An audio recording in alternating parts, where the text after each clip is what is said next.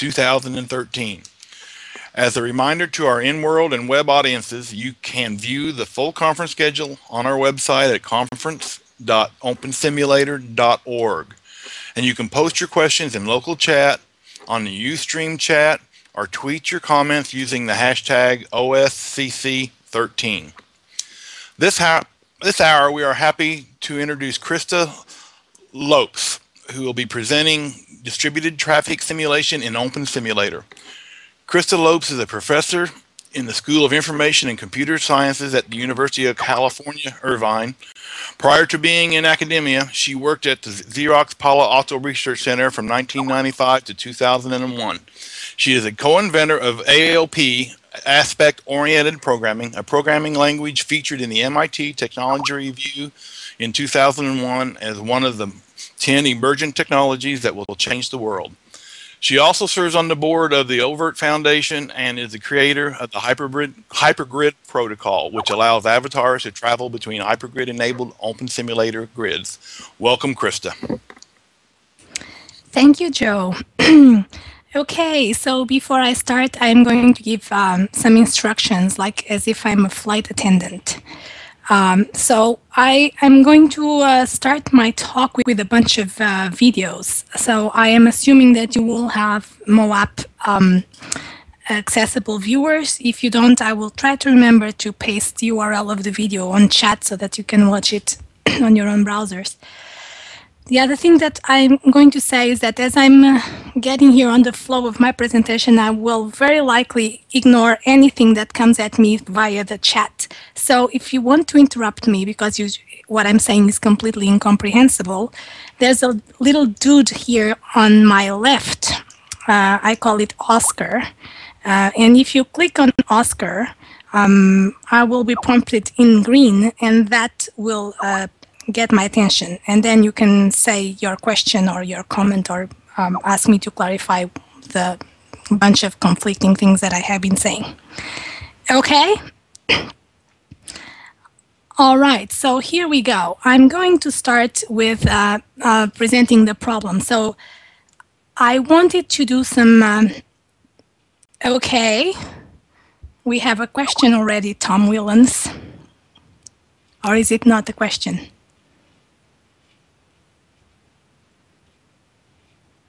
Okay, if I don't hear anything in five seconds, I consider it just to be a tryout of, of Oscar on my back. Okay, so uh, I wanted to, uh, I'm involved with a company called Encitra, and uh, we are doing urban planning, and some of it, you can hear it tomorrow in the panel.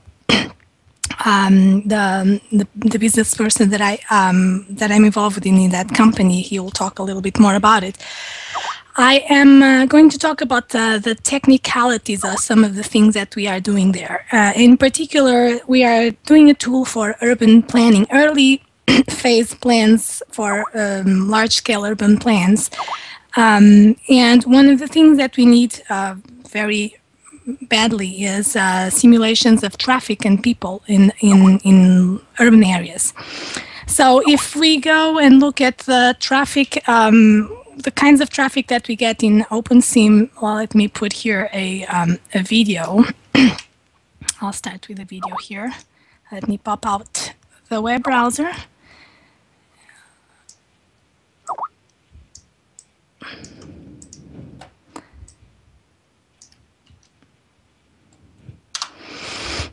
Okay, so I am showing a video from uh, Nebadon's Racer. I hope everyone is able to see it.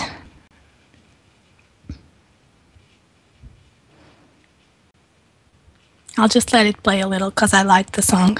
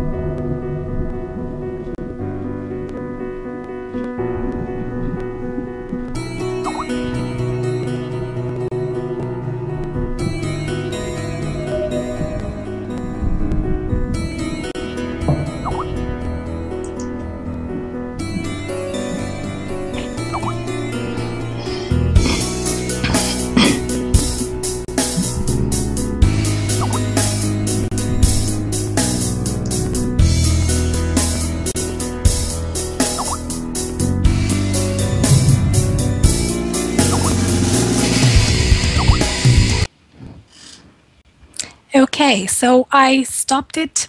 if you are still seeing it, it will stop in a few seconds.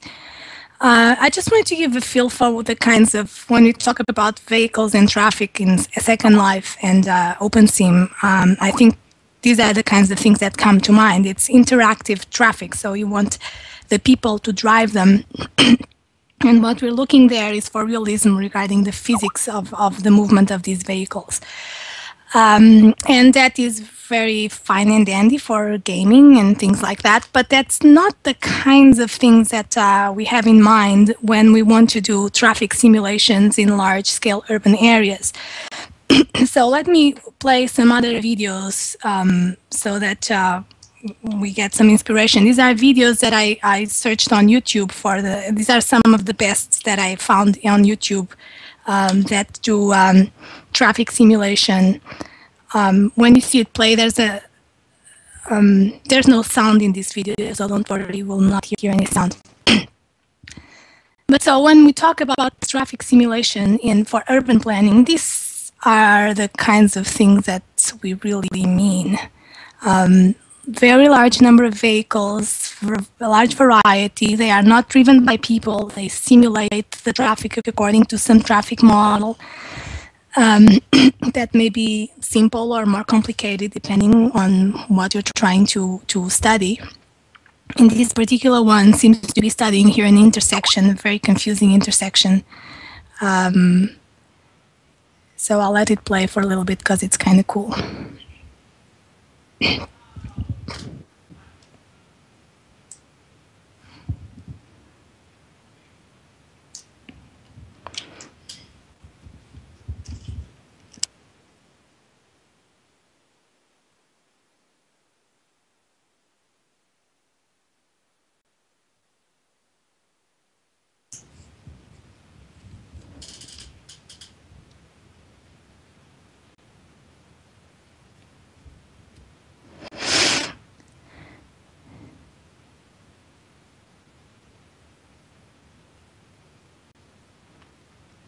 Okay, so let me move to another video from the same company, by the way. They seem to be experts in doing traffic simulations. This, this other video is um, uh, doesn't seem to be using the same tool. It uses some software that is um, applies photorealism. So you'll see something that looks like you know almost the technology that you see in in Hollywood movies to to simulate urban areas. It's pretty cool.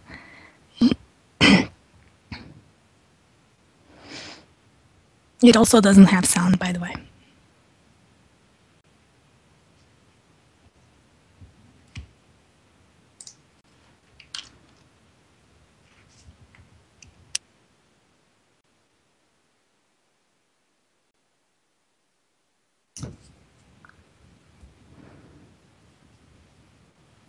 So this video starts with, um, you know, very simple black and white, um, no urban area, and then the urban area suddenly pops up, and then they apply photorealistic um, textures into it, and uh, next thing you know, it looks like a real city.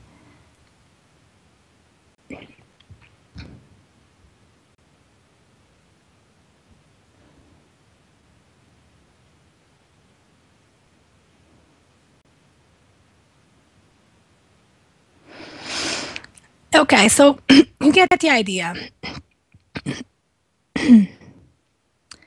I think you get the idea for what I mean uh, when uh, when I say traffic simulation for urban planning. It's not exactly the kinds of things that we do that we tend to do in OpenSim and Second Life. That's sort of small scale, very interactive. for urban planning, we want very large scale, and so um, large means um, different things. It's it's a large. We want a large space, and when I say large, I mean in the order of kilometers, not just 256 meters. And this is a challenge because uh, the way that this architecture is set up, we have these borders, and uh, and border crossings are very heavy-duty processes. Uh, they they introduce lag, rubber banding of the objects. It's it's really bad. And another meaning of large is also on the number of vehicles. So we don't just want 20 vehicles, we want in the order of a thousand, yeah, you know, several kinds of vehicles. So it's large in many dimensions. Uh, and this, this is also challenging because, well, you have to move all those vehicles, and if you're not careful, then it's just overloading the server. So those are the technical challenges. And uh, the, one of the constraints, though, in doing this work is that I really, we really wanted to use OpenSim and Second Life Viewer for, for this kind of work. Um, we wanted to use it uh, because it has lots of advantages. As you all know, you are all here, you know what I'm talking about. It's easy to model things. Um, you can there's this immediate interaction. You log into the world and it's there. You can see how things are. It's uh, it's also cheap, much cheaper than some of those uh, software tools that um, high-end consultants use. so we had a, this one constraint. We wanted to use OpenSim and Second Life to make the kinds of traffic, traffic simulations that I just showed here um, as the, the last couple of videos. So before I explain what we did, I'm going to uh, show you the results first. this is going to play the video of um, one of the videos of that we did in Encitra. just a second. For about a minute and a half or something like that.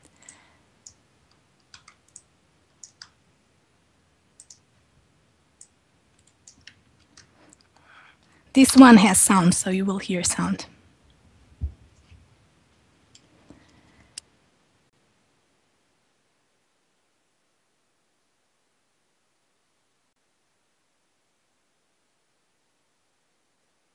Or not. Let's see what happened.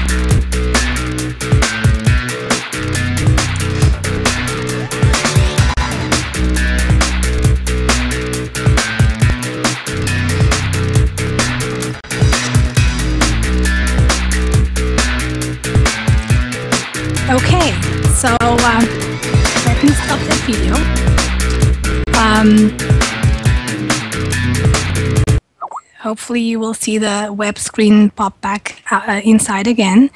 Uh, so the rest of the talk, I'm going to explain um, what I did in order to be able to simulate this very large space with a very large number of uh, vehicles that drive around, um, including uh, I will not talk much about pedestrians. Um, we have uh, uh, people riding bicycles too, although it didn't show in this video. Um, by the way, this so this let me explain just a little context. This video that that I showed you is a is part of a project that we have going on with the city of Uppsala in Sweden. we have been working with them to model certain parts of their city that they are um, redeveloping, as well as there's a lobby there who wants to uh, was trying to convince the city to deploy a, um, a pod car system uh, as the mode of public transportation. So that those are the pod cars that you saw there. Those pod cars don't exist in real life, but uh, that's what this uh, lobby uh, group is trying to to try to deploy a solar powered Hyperloop, so to speak, although it's not the te same technology, it's, uh, it's um, pod cars of some sort. So uh, we what we had here was a situation that we needed to model an area of about three kilometers by um, 1.5 kilometers. That's the area that we modeled. And we needed to show all these cars and buses and people going around uh, taking lots of routes. So how did we do that?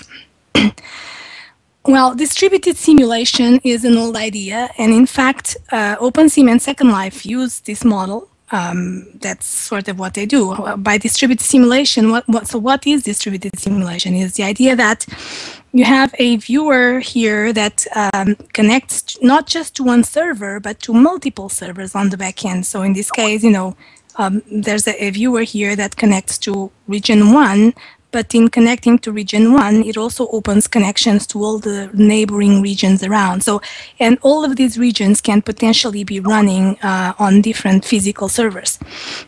So this is a distributed simulation architecture already. so um, what is the problem? The problem is that if I have a little car that's being simulated by the server uh, that's running region one, um, then what happens is, if that car moves only within region one, that's no problem. It can just go around and around, that's fine. But if the car wants to move to region eight, uh, then what happens that there's a process of migration. There's actually, you know, the car gets packaged and sent to the new server over potentially over the network, and that is very very heavy duty kind of process, and uh, and it just destroys completely the realism of of the environment. So we want to uh, avoid that. So we want to avoid migrations altogether. We don't want migrations because they completely destroy the feeling of realism. Um, and another thing that we also want to do is to separate the traffic simulator from the world simulator. I mean, traffic simulators are beasts of their own. In fact, there are several traffic simulator uh, software out there. One of them is well known, it's called the Sumo, Sumo Traffic Simulator. and uh, it has it's an open source one. It has been developed over several years by uh, a group that does those kinds of things, and it's really it's really good. So we wanted to be able uh, to eventually um, use those simulators that already exist and connect them um, to the, the, OpenSim environment and just have them two together. We haven't done that yet, but that's sort of where we are going. So we want to separate the traffic simulator from the world simulation. Uh, the traffic simulator does the traffic simulation, which is a heavy-duty process on itself, and the world sims do the regular virtual world simulation, which is to serve when people log in to, to observe what's going on in the world. So how did we do this?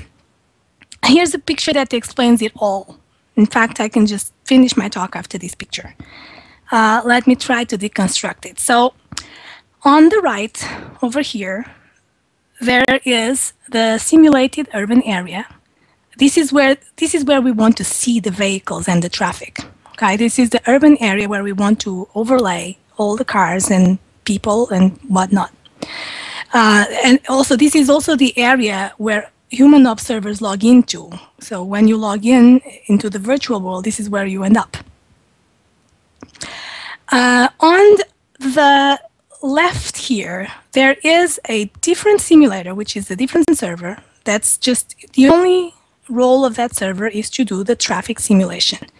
Um, the, the so its only goal is to generate the vehicles, move the vehicles, coordinate their behavior, you know, do the, the, collision detection.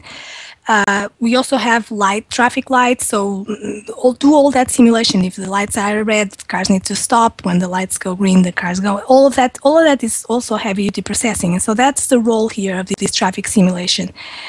Um, So the, the trick now is an interesting one. So what, how can we do that? How can we have this uh, traffic simulator simulate all the traffic while actually seeing the result of that simulation in the urban area that we want to simulate? Okay, so that is sort of advanced uh, trickery here with uh, with OpenSim and Second Life, but it's actually a trickery that, uh, believe it or not, it has I believe, been designed uh, by the, by Linden Lab when they, when they made this architecture. It's not explored very often. That's I think it's sort of a corner case of their design, but it's actually quite an interesting uh, corner. So what you do is the following: when the viewer logs in, this means when the person logs in, it, the person logs into some server here in the urban area.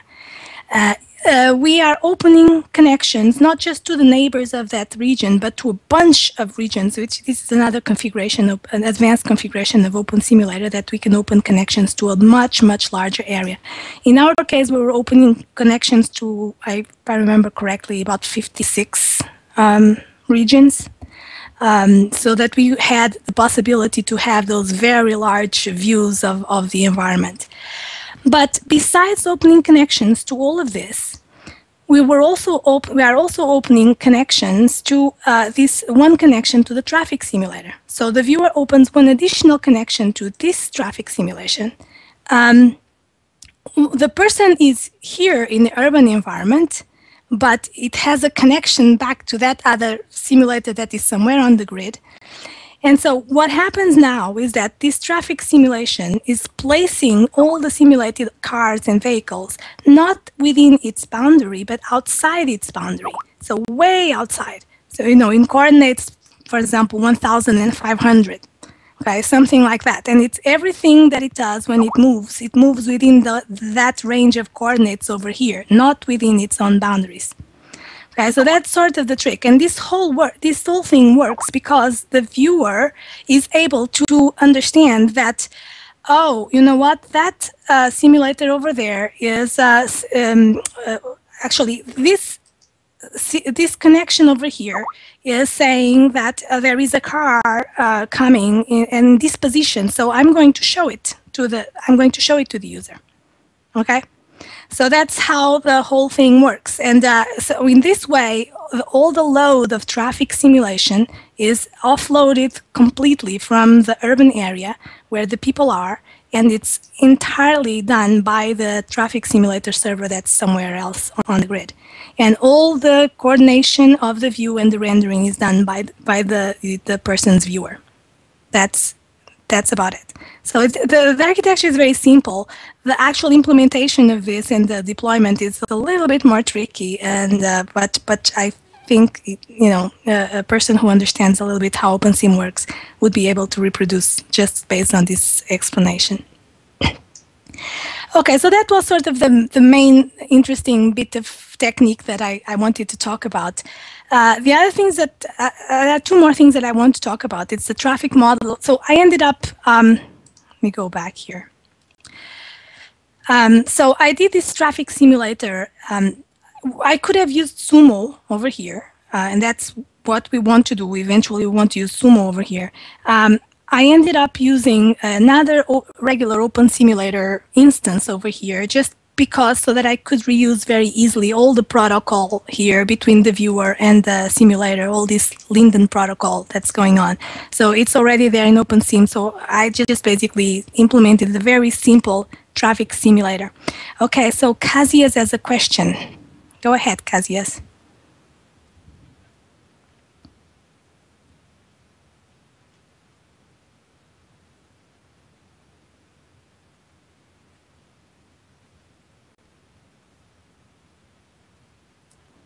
Yes, uh, Cassius is asking me to spell the traffic simulator name, that open source one. It's called Sumo.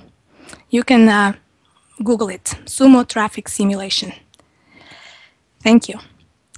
Um, so I ended up implementing myself my own little version of a traffic simulator, which is actually quite cool. I, I, I had a lot of fun doing this. Uh, so what I'm going to talk about is my very simplistic traffic simulator, how it works, um, and how how certain things work here. So the traffic model is extremely simple. Um, you know, if you look at Sumo and some of the other professional commercial traffic simulators, you'll see a lot more sophisticated models going on. Um, what I did is uh, I just very simple model. The vehicles are generated periodically. I don't remember. The, I think it's like, like every 10 seconds or so. It's it's configurable. Every few seconds, I generate a vehicle.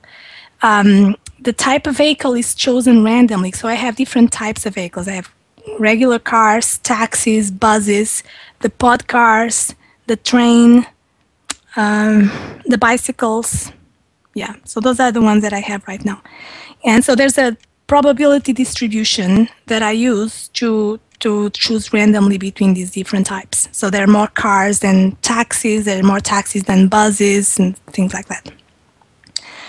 Uh, the association between um, the vehicles and the routes uh, is done sort of randomly. So each type of vehicle has uh, a, a, set of possible routes.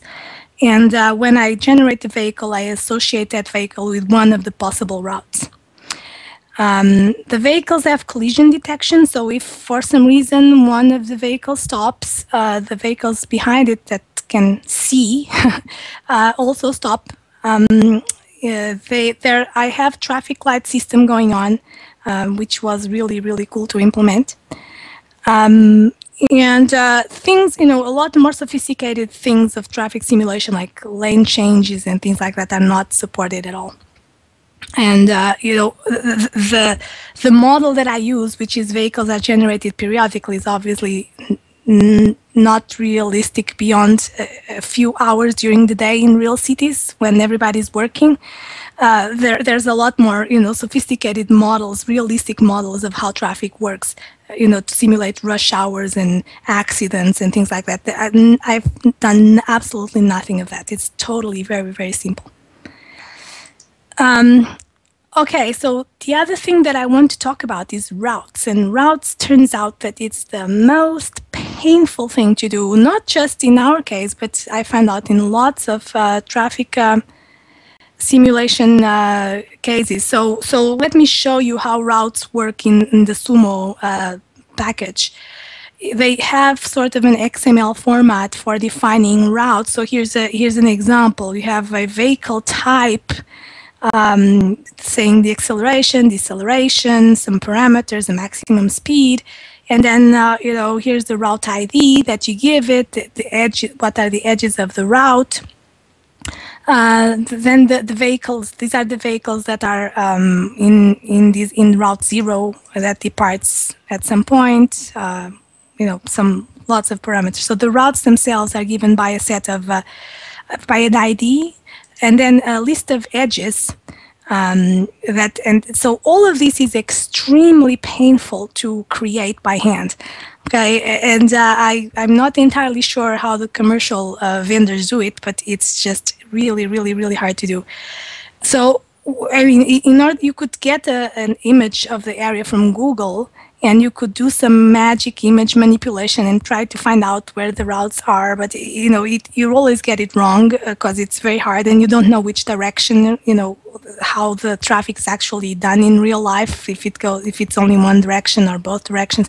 So it's very it's very complicated. So what we ended up doing is that we ended up doing uh, creating the routes manually um, but it turns out that um, being in an immersive environment, it actually makes it slightly less painful to do the routes because you have the environment already there. So what, what we do is that we basically walk through the streets and I have this HUD that at every, every so often I drop a waypoint, I click on it and bang, there's a waypoint that drops. These are the waypoints, okay? These, uh, these little thingies.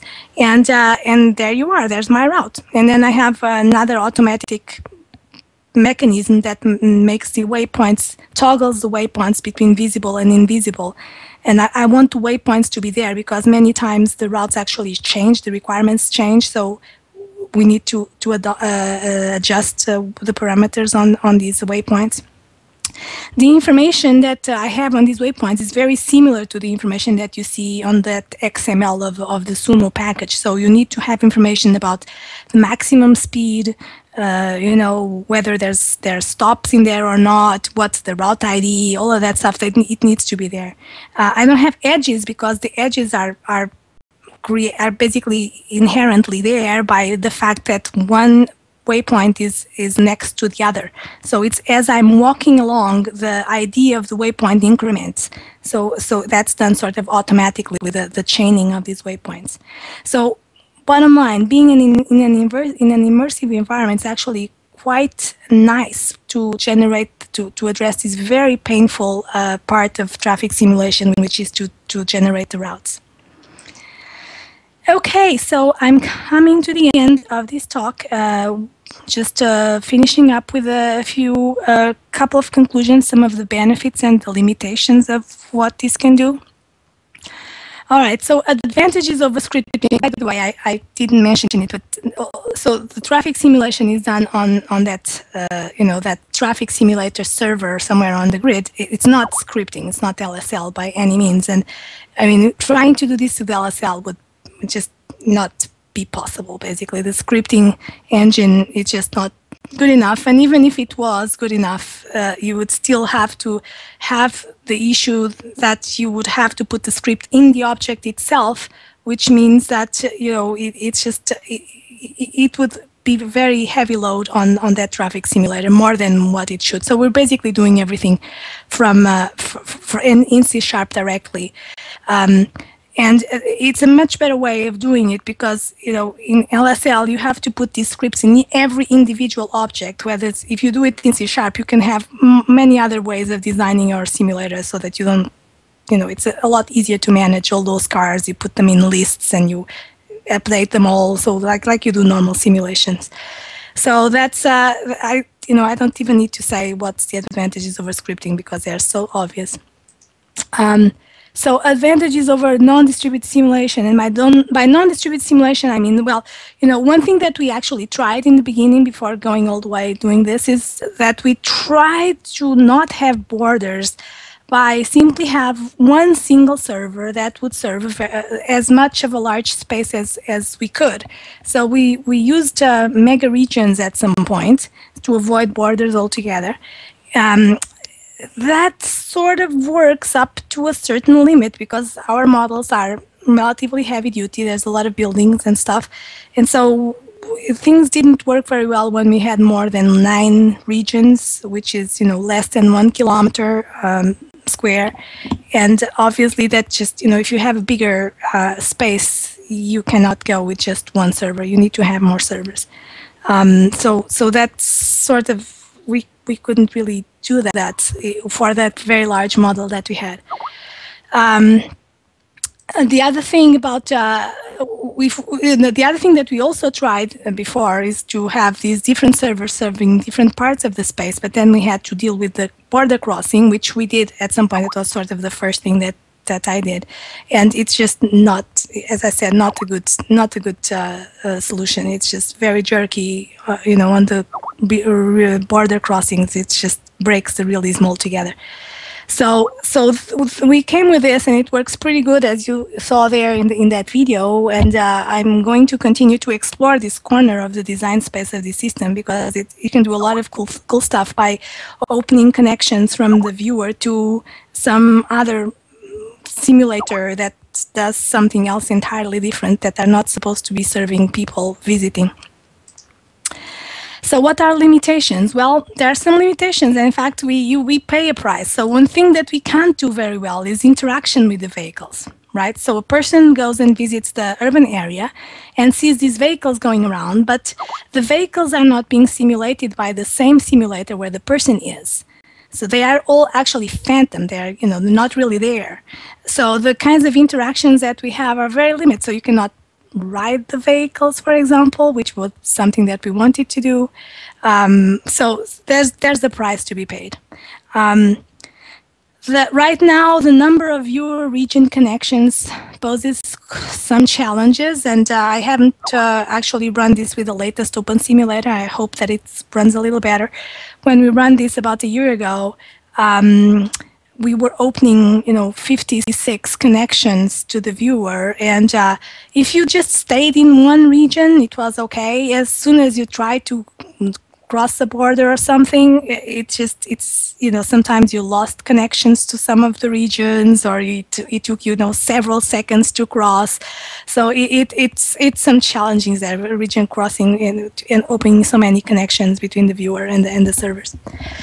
Uh, another problem that happens when you try to simulate this large of an environment, you know, three kilometers by 1.5 kilometers, is is that the the scene is massive. Okay, just the terrain is just massive, and then it, actually on top of the normal terrain, we have a mesh terrain that we generate to be uh, realistic uh, according to the real GIS um, elevation model so those are additional meshes that we have. We have all the all the buildings, all the textures. It's just mm, several gigabytes of data. So the way that this system is set up is that there's not a lot of possibilities for actually caching the entire scene on the client side. So every time that somebody logs in, there, yeah, there's some caching already there. If you've been there already, some of the textures are already in your um, uh, computer, but most of the scene, most of the bytes are not. So it takes a very long time to download uh, a scene of, of three kilometers by 1.5 kilometers. And by very long time, I mean um, on the order, it can take on the order of like 20 minutes or something like that.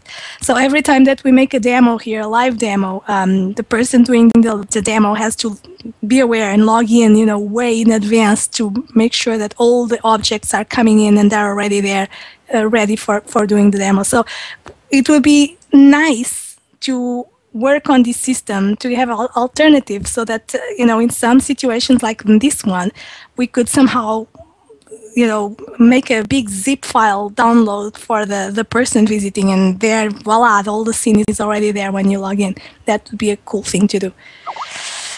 Um, okay, so this is it. If you have more questions, feel free to ask them now. Uh, and actually, now that I stopped talking, you don't need to click Oscar on my back. You can just type them in.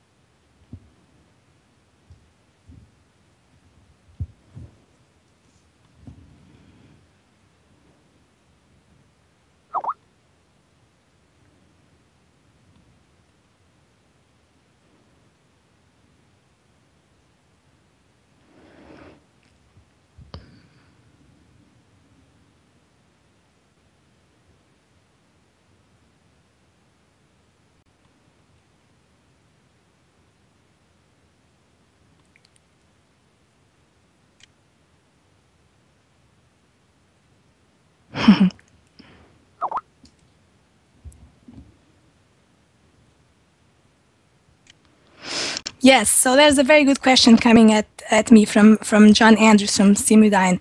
Um, yes, so the the uh, the cars actually are, are not even physical. I'm not even simulating the physics physics of the cars.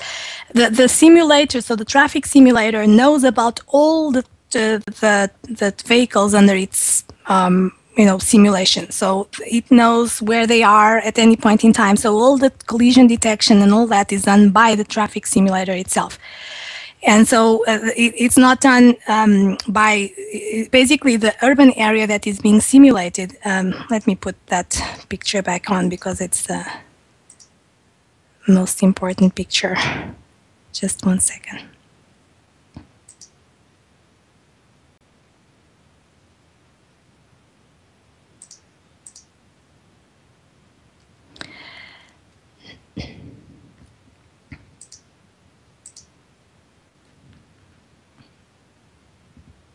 Okay, so the um, traffic simulator over here does everything that needs to be done for, for the traffic to behave. So collision detections, it's all done here by this traffic simulation. Um, if I were to turn in to turn on physics and simulate the cars with some dynamics or something like that, it would be done here by the traffic simulation. Um, what you see when you log in as a user, observer, uh, you see all that behavior, whatever it's commanded here by the traffic simulator, but uh, as is, because the, the way that this system is implemented is that um, when you put, when this server simulates objects outside of its own borders, um, the, the servers here uh, corresponding to those coordinates will see those as, as phantom basically. They're not being simulated. They're just there as an illusion visual basically a visual uh, artifact. So nothing in this simulator here can interact with that visual artifact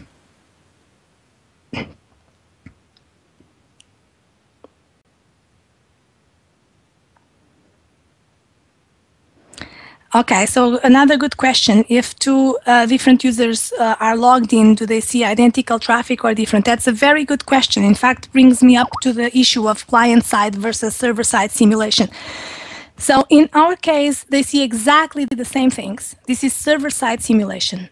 so everything that uh, this traffic simulator is doing is seen exactly as it is by anybody who logs in. So if there's a red car coming, everybody sees the red car coming. this is different from some simulations. For example, if you would use Unity 3D for, for simulating traffic, you usually do that in, on the client side. Um, so basically, client side means that it's the machine of the person who is doing the simulation. And, and what that means is that the, the different persons connecting are going to be to be seeing slightly different simulations because they are not coordinated. so that's that's not what's going on in here. This is server-side simulation, so it's synchronous. Everybody sees what's going on at the same time.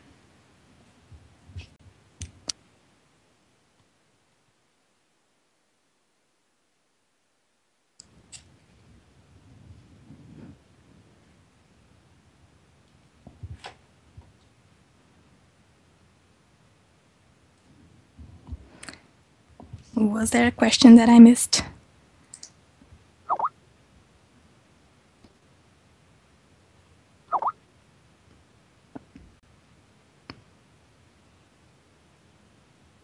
Ah, yes. So Fabrice is asking a good question. Is this only 3D simulation or is there a plan to be extended with a real life link like RFID or GPS?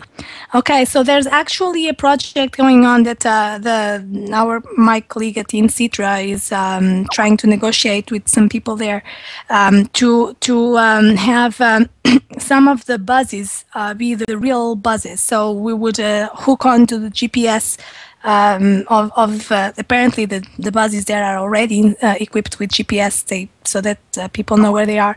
So we would hook on to that stream of data and uh, and basically use that as uh, the position of the of the virtual buses in the environment. That we are hopefully going to do that.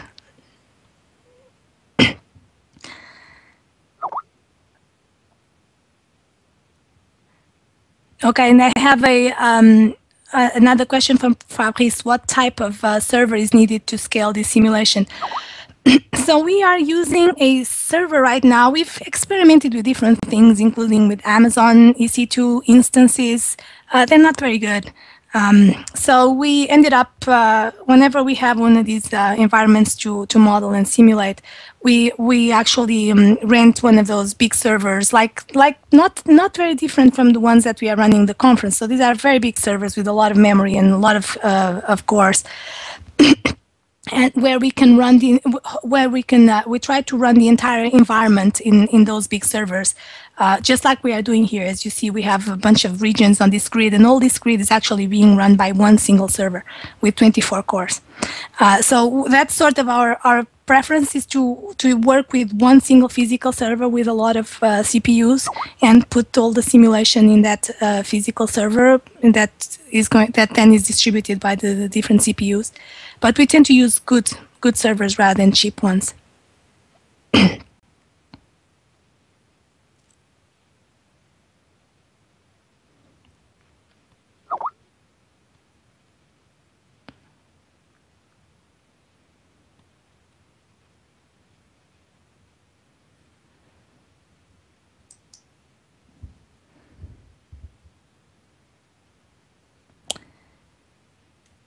Okay, so there's a question. What was the problem with EC2? uh, so EC2 instances are just not very good, basically. They're very slow. Um, you know, their access to the disk is just really bad. It's just slow. Everything is slow. And uh, you can do it, but for high performing things, you probably want to do something else, basically. We just ended up um, uh, having a lot more bang for the buck by renting these much better servers. Plus, with, with EC2, there's a lot of extra management because you have all these different instances going on at the same time that you have to coordinate in forming to a, a, a single grid. And it's just, from the point of view of the, the system administration, it's just much, much simpler to have to do everything in one single physical server, which is what we're doing here in the conference too. So it's just, I mean, from the point of view of the human effort, it's just much better to work with a, a powerful server one than to work with many virtual servers that many things are going on and can be going on in there. there was another question. Uh, uh, Kazia say I missed the point of how you smooth the border crossings. So yes, so there are no border crossings whatsoever in this uh, in this architecture. Um, the the this traffic simulator, the green traffic simulator, just puts the cars wherever it wants. You know, any any point between, let's say that this is uh, coordinate 1,000 meters to coordinate 2,000 meters. Okay, so uh, basically the, this server just puts moves the car or whatever it wants. So, oh, by the avatars. So, uh, so Kazia is asking border crossings for avatars. That's one thing that we just haven't solved yet. Uh, we have that's next on our list to improve in OpenSim in general is border crossings for avatars, and in particular where there's uh, there's a lot of child agents all around, many connections from the viewer to the backend server. We just need to improve that.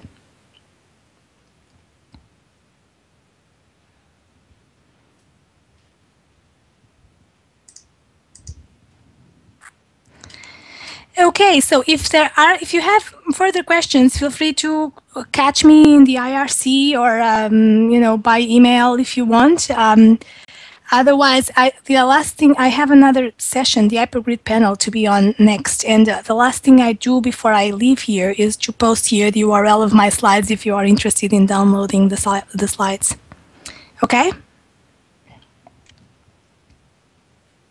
Thank you. All right. Thank you, Crista, for a terrific presentation. As a reminder to our audience, you can see what's coming up on the conference schedule at conference.opensimulator.org. Thank you again to our speaker and the audience.